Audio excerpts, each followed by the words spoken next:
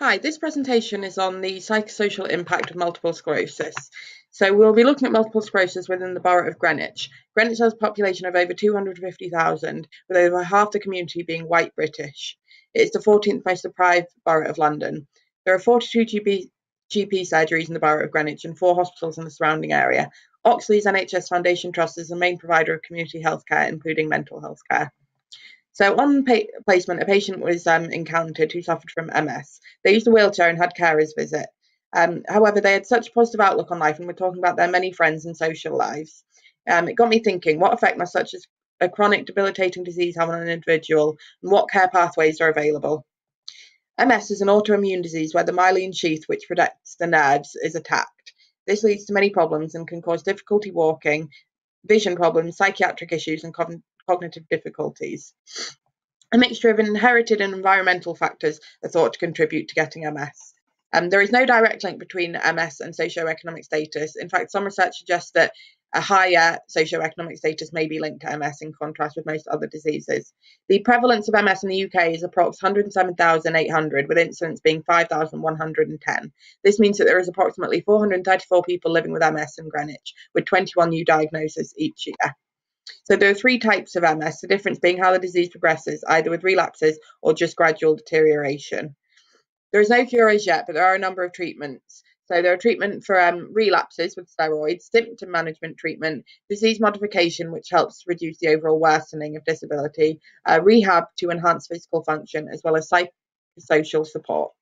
Um, so health is said to consist of physical, mental, and social well-being, but MS patients report their health-related quality of life is worse compared to um, the general population in both the physical and the mental domains. So this biopsychosocial model of health is useful in the research of MS, as all these factors interact to give a health outcome. So the self-regulatory model discusses how people deal with the threat of an illness by forming a representation of that threat. MS is really unpredictable um, and in terms of what symptoms will appear and when, which greatly impacts how patients view it. So the effects of MS are wide ranging from the physical to the psychosocial um, to the social. So around half of people with MS will develop cognitive changes which are associated with unemployment problems, social problems, difficulties of activities of daily living and quality of life. Depression is the most common psychiatric order. This is both due to the physical effect of MS on the brain as well as its effect on people's lives. Um, the suicide risk is up to 7.5 times greater than in the general population, and they also report more anxiety. MS is also a very unpredictable disease. People may be unable to walk, have to wear an incontinence pad, and have cognitive impairment. Many feel that they can never have a normal life and feel anger, fear, and frustration. Um, people don't know how they're going to wake up in the morning and how their level of functioning will be.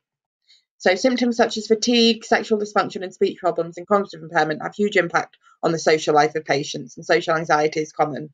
Um, and due to the various symptoms, people with MS have an increased risk of losing their jobs. Unemployment can affect quality of life and have debilitating psychological as well as financial effects. Physical symptoms such as muscle weakness, visual disturbances, and tremors can add to sufferers' feelings of depression and social anxiety. Falls are also a major problem um, and can have a huge impact on daily life and psychological well-being. This can lead to concern about falling and a loss of confidence in performing daily activities and going out in public. However, in some cases, people with MS suggest a deepening of relationships and enhanced appreciation for life. Um, in many cases, people are inspired to live their lives to the fullest. There are care pathways to assist with the symptoms, um, from physical therapy to help with muscle weakness and fatigue to support groups for those suffering from depression or anxiety. Clinical pathways such as steroids or disease modifying therapies are also an option. As you can say, care for people with MS uses a multidisciplinary approach. So paramedics can make GP referrals for symptom management as well as welfare referrals if a patient needs home assistance.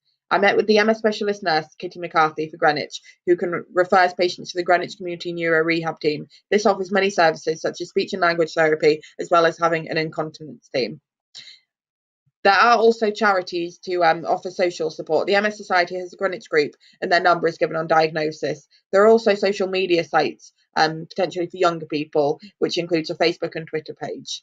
Some relevant policies and guidelines include the NICE guidelines on the management of MS in adults, as well as NICE guidelines on depression in adults with a chronic physical health problem. MS Society also does campaigning, for example, supporting people with MS to stay in work, as well as to stop MS specialist nursing posts from being cut.